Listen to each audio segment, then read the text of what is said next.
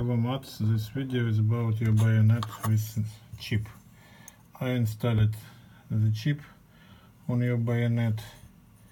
Now I show chicken chip.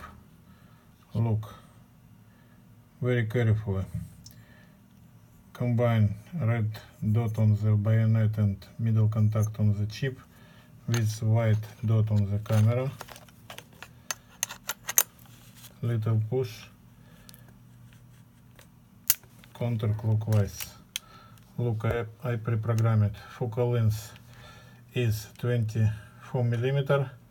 Nikon does not have uh, focal length is 23 millimeter and the aperture range from 4 to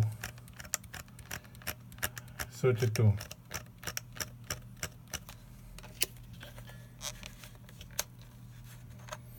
Be very careful with chip and chip will work long long time. Now I packaging your bayonet. This rear cap gift for you. Now I packaging and sending to you tomorrow morning. Thank you for your attention